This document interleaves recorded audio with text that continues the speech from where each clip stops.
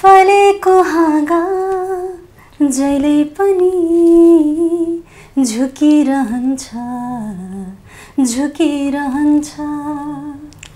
जिन्दगी यो आँधीसँग जुधिरहन्छ जुधिरहन्छ।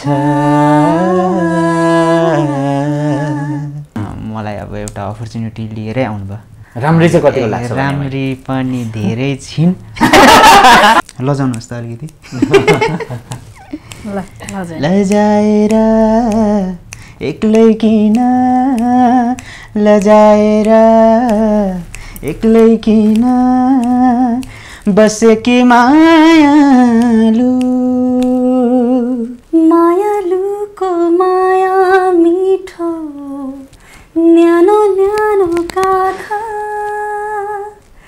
जुनी जुनी सयौँ जुनी अङ्गालोमै राख। पहिलो नम्बरमा पहिलो नम्बरमा म रविलाई देख्न चाहन्छु. जितोस् भन्ने मेरो एउटा पुरा एकदमै मनबाट इच्छा छ। मेरो अनलाइन टिभी।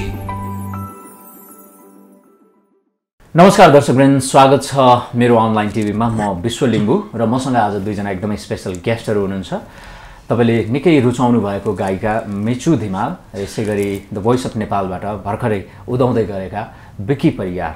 उहाँहरू दुईजनाको संयुक्त प्रोजेक्ट भनौँ रमाई रमाई यो बोलको गीत बजारमा सार्वजनिक भएको छ। निकै मिठो गीत छ। मैले पनि हेरिसकेको छु। अडियो पनि एकदमै गजब छ मिठो छ। एउटा लभ रोमान्टिक सङ छ। यसलाई राम्रो निभाउनु भएको छ। उहाँहरू आफैले कलाकारको रूपमा पनि प्रस्तुत हुनुभएको छ उक्त म्युजिक भिडियोमा। सो यो प्रोजेक्टको बारेमा सँगसँगै उहाँहरू दुईजनाको साङ्गीतिक करियरको बारेमा म कुराकानी गर्नेछु। आउनुहोस् उहाँहरू दुवैजनालाई म स्वागत गर्न चाहन्छु। धेरै धेरै स्वागत छ नमस्कार यहाँहरू दुवैजना। हजुर सन्चै हुनुहुन्छ दुवैजना? एकदम सन्चै। कतिको एक्साइटेड एक्साइटेडको त लेभलै छैन नि हाम्रो। कति छ कति भन्ने कुरो।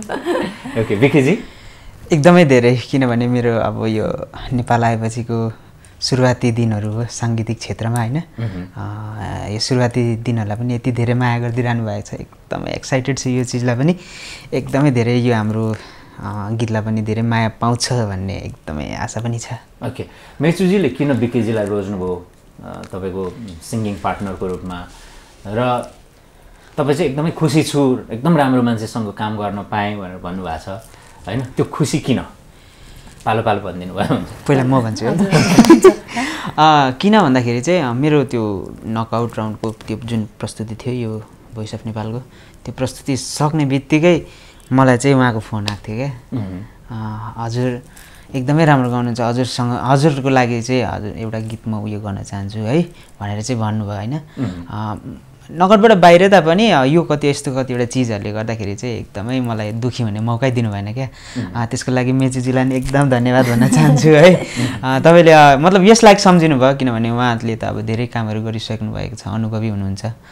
म त त्यस्तो अनुभवी पनि छुइनँ तर पनि उहाँले यस लायक गीतको लायक प्लस अभिनय गर्नुमा पनि धेरै मलाई एकदमै उहाँले अभिनेता पनि बनाउनु गर्दिनँ हो सक्दिनँ होला। म भन्ने भइरहेको थियो क्या मलाई चाहिँ। तर उहाँले चाहिँ हुन्छ सक्छ हजुरले सक्छ मलाई लाग्छ हजुरले सक्छ जस्तो लाग्छ भनेर भनेर भन्नुहुन्छ।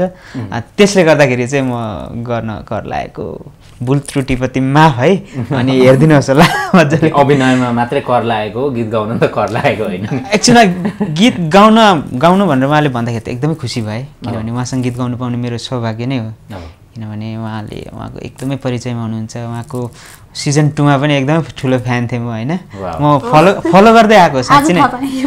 वान टूदेखि एकदम फलो गर्दै आएको। आफूले पनि डिजिटल अडिसनको लागि भिडियोहरू पठाउँदै पनि आएको। हो है? त्यसले गर्दाखेरि चाहिँ सिजन थ्रीमा आइपुगेँ। एकदमै ठुलो फ्यान हो म हजुरको पनि। अनि गीत गाउनमा चाहिँ धेरै कष्ट गर्नु पर्ने र तर एक्टिङमा पुरै कष्ट गर्नु पऱ्यो मैले। उहाँको झपाइ पनि झन्डै खाइदिएँ। त्यो गरे अनुसार उहाँले राम्रो पनि गरिदिनु भएको छ। म म चाहिँ ह्याप्पी छु एकदमै। जस प्रडक्ट त राम्रो आएछ नि त जे भए पनि होइन? उहाँले अहिले भन्नुभयो मलाई। मलाई थाहा थिएन मैले राम्रो गरेको छु भनेर। अँ, किनभने हामीले फुटेज त्यो दिन यस्तो प्रेसर धेरै हुन्छ नि त होइन? सुटिङको दिन त। धेरै प्रेसर हुन्छ। एक त पानी पनि सिजनमा सुटिङ गर्यो कस्तो भयो भने बिहानदेखि हामी चाहिँ एकदमै पाँच बजे नै हिँड्यौँ तर पानी नै पानी हिँड्यौँ क्या। अनि केही खुलेकै थिएन आकाश पनि। लोकेसनमा पुग्दाखेरिसम्म पनि हामी भिजिरहेकै थियौँ क्या पानी। तर त्यहाँ बसेर खिच्नलाई रेडी गर्दाखेरि चाहिँ पानी रह्यो घाम लाग्दियो दुई तिन घन्टा भयो भने घाम लाग्दै हामी त्यही बिचको अवधिमा सुटिङ सकेर हतार हतार आएको। सुटिङ सक्ने बित्तिकै पानी पऱ्यो फेरि। बिच्दै बिच्दै प्रेसर त्यो खालको पनि थियो होइन छिटो सक्नुपर्ने राम्रो गर्नुपर्ने सो त्यस्तो हुन्छ सुटिङको बिच्दै फर्केको है? ओके अब बिक्कीजीलाई नै तपाईँले यो प्रोजेक्टको लागि यो गीतको लागि किन सम्झिनुभयो? किन अभिनेता बनाउनुभयो हजुर। म चाहिँ अब फलो गर्दाखेरि चाहिँ अलिकति साँच्चीकै अलिक पर दूरदर्शिता टाइपको अलिकति अध्ययन गरेर मात्रै मान्छेहरू सेलेक्ट गर्छु होइन। अनि मलाई बिक्कीजी चाहिँ एकदमै त्यो उसको लागि चाहिँ लायक ठाने मैले किनभने उहाँको त्यो क्षमतालाई मैले भित्रै रूपमा अध्ययन गरेँ होइन।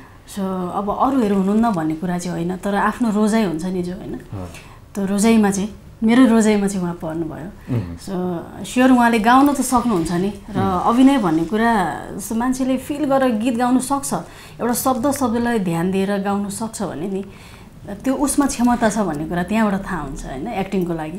सो नगरेर मात्रै अलि हिचकिचाइन्छ। सुरु सुरुमा क्यामेरा फेस गर्न र मान्छेको लागि पब्लिकली अलिकति एक्टिङ गर्नलाई गाह्रो त हुन्छ नै होइन? त्यो मैले पनि भोगेको छु धेरै।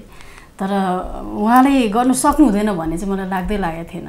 सो त्यही भएर पनि मैले एज अ मोडल पनि उहाँलाई नै राखेँ होइन। सिङ्गर त उहाँ बबालै हुनुहुन्छ त्यो त तारिफ गरेर सकिँदैन। ओके यो गीतको अडियो मलाई एकदमै मन परेको छ भिडियो पनि मन पऱ्यो सो यो गीत हाम्रो दर्शकको लागि तपाईँहरूले दुई चार लाइन चाहिँ प्रस्तुत गरिदिनु पर्ने हुन्छ? हजुर प्लिज। फलेको हाँगा जहिले पनि झुकिरहन्छ झुकिरहन्छ।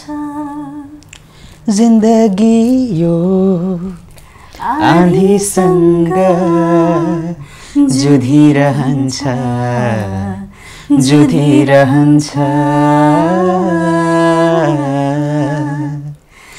नमाना यसरी लाज आउँसँगै हिँडौँ हामी आज दुई हात समाई। रमाई रमाई रमाई रमाई। रमाई रमाई रमाई। Thank you, ओहो, यस्तो मिठो गीत तपाईँले कसलाई सम्झेर लेख्नुभयो होला भन्नुहोस्। यो त अब लगभग अब लग पर्न पर्न लागेको नयाँ अब प्रेम सुरु हुन लागेको जस्तो फिलिङ्स दिने खालको रहेछ नि त। म खासमा मान्छे चाहिँ रोमान्टिकै छु होइन? धेरै कुराहरू अब अलिकति प्रस्तुत हुन नसकेको मात्रै हो। तर अलिकति रोमान्टिक कुराहरूमा म अझै धेरै खेल्न सक्छु जस्तो लाग्छ होइन? यो गानाको त एउटा इतिहास छ अर्कै टाइपको छ जस्तो म घरमै थिएँ लकडाउनमा होइन? भर्खर भर्खर एक दुई हप्ता भएको छ काठमाडौँ प्रवेश गरेको।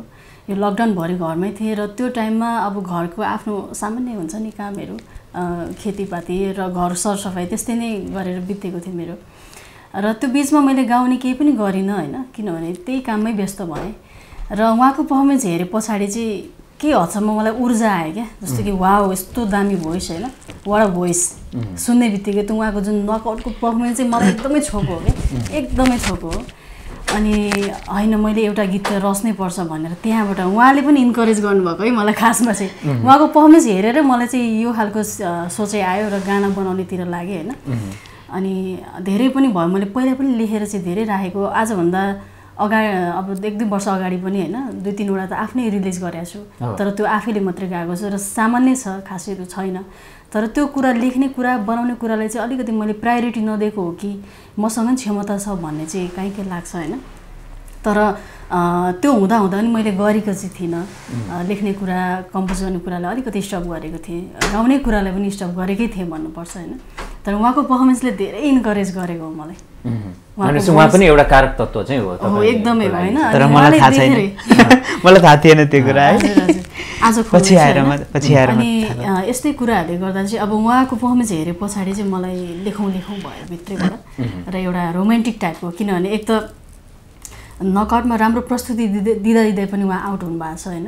र उहाँ जस्तो राम्रो कलाकार होइन? उहाँलाई त इन्करेज हुने खालकै गाना चाहिन्छ र एउटा रोमान्टिक प्याटर्नलाई नै मैले चाहिँ त्यही भएर चुज गरेकी हो।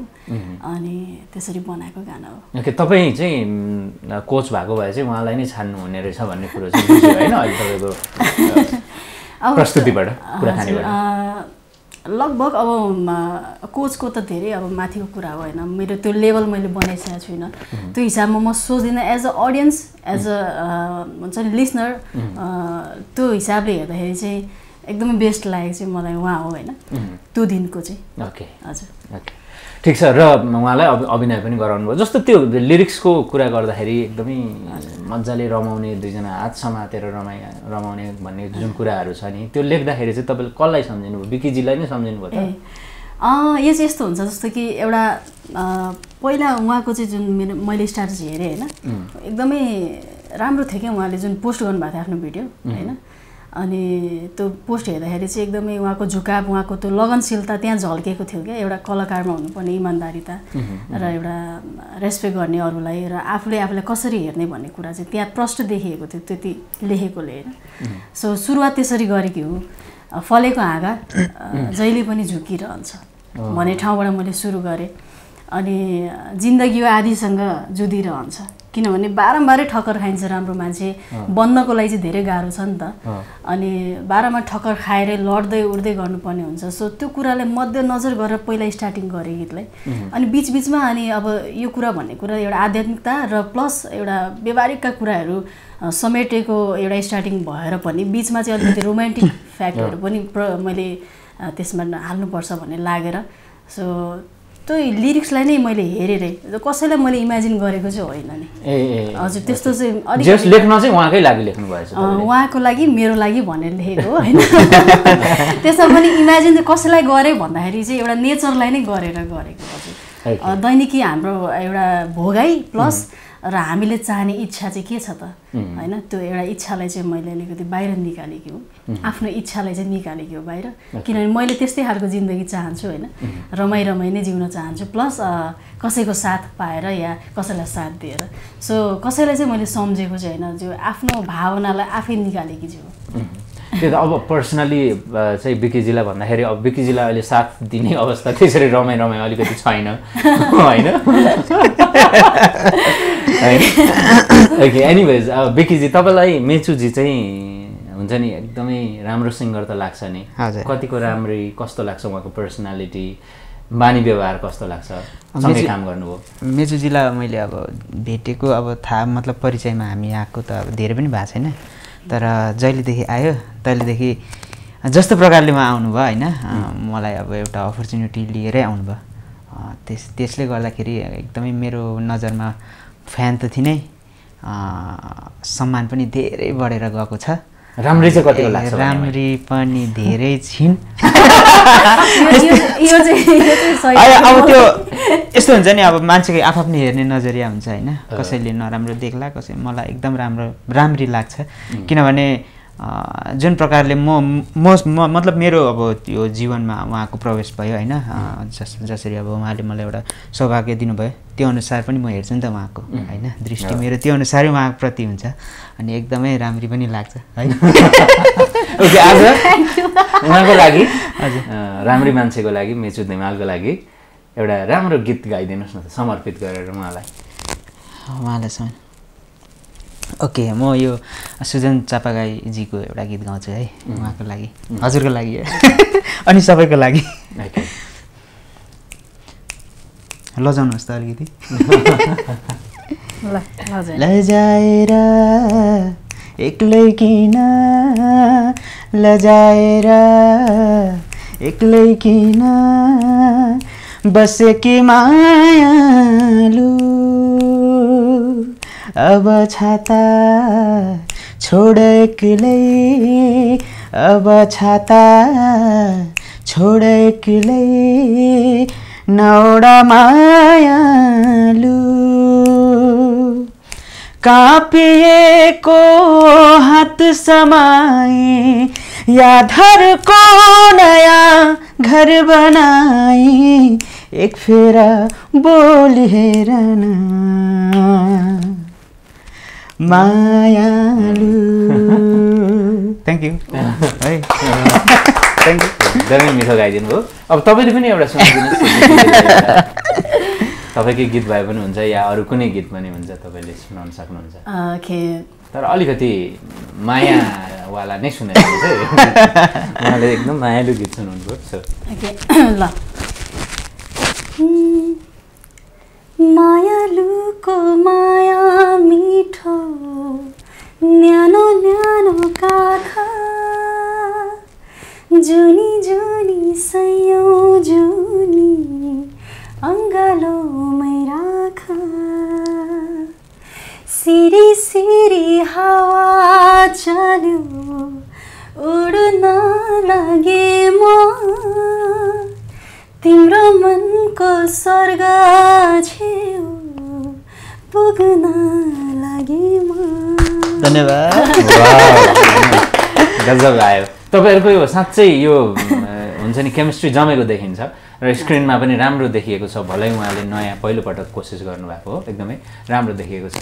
अब मेचुजी तपाईँले गीत लेख्ने कम्पोज गर्ने डिरेक्सन पनि गर्ने यति धेरै ठाउँमा गीत पनि गाउने अनि सबै गर्दाखेरि धेरै ठाउँमा हात हाल्दाखेरि गाह्रो भएन तपाईँलाई? अभियसली पनि अलिक प्रेसर चाहिँ हुँदो रहेछ दा होइन? अब यो पहिलोचोटि नै हो अलिकति धेरै नै मैले चाहिँ गरेको एकैचोटि होइन? नत्र कुनै कुनै पार्टहरू मात्रै गर्दै आएको छु अहिलेसम्म। सबै गर्दाखेरि प्रेसर चाहिँ त्योभन्दा दोब्बरै हुँदो रहेछ भन्ने कुरा चाहिँ महसुस गरेँ होइन। तर यो भनेको आफ्नो लागि मात्रै गरिरहेको छु नि त। सो मैले अब एकदम बाक्लै पनि गर्न अलिकति सम्भव छैन आफ्नै लगानी आफ्नै गर्दाखेरि। सो कहिलेकाहीँ गर्दाखेरि एउटा मुडमा काम गर्दाखेरि एउटा मात्रै प्रोजेक्टलाई फोकस गर्दाखेरि चाहिँ फेरि पनि भोलिको दिनमा गर्छु भन्ने चाहिँ लाग्छ। अप्ठ्यारै भए पनि। ओके अब द भोइस अफ नेपालको तपाईँ टप एट होइन? बिकेजी नकआउटसम्म पुग्नु भएको होइन? योपालि बिकेजी आउट भएपछि हेर्नु भएको छ कि छैन? मैले? हजुर। ए हेर्दैछु किनभने मलाई एकदमै राम्रो लाग्छ त्यहाँभित्र भएका ट्यालेन्टहरू है? सबैको आफआफ्नो गुणहरू बोकेर उहाँसम्म पुग्नु भएको छ। अनि सबैजनाले केही न केही मलाई सिकाइरहेछ क्या मैले प्रत्येकजना अब काहीँ न काहीँ एउटा यस्तो ठाउँ हुन्छ कि त्यहाँ सिक्न पर्ने जग्गाहरू हुन्छ क्या त्यस्तो चिज चाहिँ म कहिले पनि छोड्न चाहन्न। अनि उहाँहरूको प्रस्तुतिले पनि मलाई त्यो चिजहरू सिकाइरहेको छ र हेरि पनि रहेको छु। मेचुजी कहिले काहीँ हेरिराख्नु भएको छ? हजुर म पनि हेरिरहेको हुन्छु होइन। अब किनभने त्यहाँ जति पनि हुनुहुन्छ अहिले टप टेन भइसक्यो है। सो उहाँहरू सबैजना डिजर्भिङ र सबैजना एकदमै ब्युटिफुल हुनुहुन्छ क्या। सबै कुराले पोख्त हुनुहुन्छ होइन। सो उहाँहरूको पर्फर्मेन्स छुट्याउने कुरै भएन है। एकदम रमाइलो लागिरहेछ मलाई चाहिँ हेर्दाखेरि। ओके तपाईँहरू दुईजनाले आज प्रेडिक्सन गर्नुहोस् फरक पर्छ कि एउटै हुन्छ? दुईजनाको। जस्तो कि? जस्तो कि अब विजेताको प्रेडिक्सन गर्नु विजेताको प्रिडिक्सन गर्नुपर्दा एकैजना गर्नुपर्ने। दुई चारजना लिँदा हुन्छ न? अप्सनमा अप्सनमा पहिलो नम्बरमा। पहिलो नम्बरमा म रविलाई देख्न चाहन्छु। जितोस् भन्ने मेरो एउटा पुरा एकदमै मनबाट इच्छा छ। किरण गजमेर भाइलाई पनि राम्रै उयसले हेर्छु। गोविन्द पुन दाईलाई हेर्छु म। अनि मेरो आर्यन भाइलाई हेर्छु। चारजना लिनु चारजना भिन्दै भिन्दै टिमको त होइन चार सम्भव पनि छैन हो। तिनीहरूलाई चाहिँ अब एकजनाको शिरमा चाहिँ विजेताको ताज लागोस् भन्ने मलाई छ। चारमध्ये चारमध्ये। एकजनाकोमा चाहिँ हुनै पर्यो लागोस् भन्ने भइरहेछ शुभेच्छा शुभकामना एकदम? शुभकामना पनि तपाईँको चाहिँ के छ प्रोडक्सन मैले अस्ति पनि भनेकै जस्तो लाग्यो होइन अस्ति हाम्रो इन्टरभ्यू भएको थियो नि एकचोटि। अब अलिकति परिस्थिति चेन्ज भइसकेको छ। मलाई चाहिँ मेरो नजरमा विनर भन्ने कुरा चाहिँ अलिकति कन्फ्युजन नै हुन्छ क्या। जस्तो मैले एउटा भन्यो भने एक त अहिले झन् अब यो भोटिङमा तछाड मछाड भइरहेछ नि त फ्यानहरूको होइन। अनि एउटालाई राम्रो भन्दा अर्कोलाई अलिकति डोमिनेट गरे जस्तो फिल हुन्छ फ्यानहरूलाई सो उहाँहरूलाई अलिक नराम्रो लाग्नु सक्छ होइन। सो मलाई चाहिँ के लाग्छ भने अब हरेक वर्ष अब रियालिटी सोहरूबाट राम्रो ट्यालेन्ट आउनुहुन्छ होइन। सो योपालि पनि राम्रो ट्यालेन्ट नै आउनुहुन्छ। भन्ने लाग्छ। सो राम्रोले नै जितोस् भन्न चाहन्छु। नाम कसैको लिन चाहन्न? ओहो। मैले त लिएँ। मैले पनि यस्तै भने भए हुन्थ्यो कि जस्तो लागिरहेको छ होइन एउटा पर्सनल फेभरेट हुन्छ नि होइन। त्यही भएर मात्रै मैले भनेको। नत्र त सबैजना सबैजना। चारजना मतलब जति टप टेनमा अहिले हुनुहुन्छ उहाँहरू एकदमै डिजर्भिङ हुनुहुन्छ। नभए त्यहाँसम्म पुग्न सम्भवै हुन्न। किनभने मैले महसुस गरेको कुरा हो त्यो। ओके त्यही भनेर भने ओके यहाँ दुईजनाको जुन प्रोजेक्ट छ यो एकदमै दर्शक श्रोताले मन पराइदिनुहोस् भन्ने शुभकामना छ। इनिसियली राम्रो प्रतिक्रिया पनि आइरहेको छ। सो यहाँ दुवैजनालाई एकदम बधाई र शुभकामना दिन चाहन्छु। समय दिनुभयो। धेरै धेरै धन्यवाद छ। हजुरलाई धेरै धेरै धन्यवाद।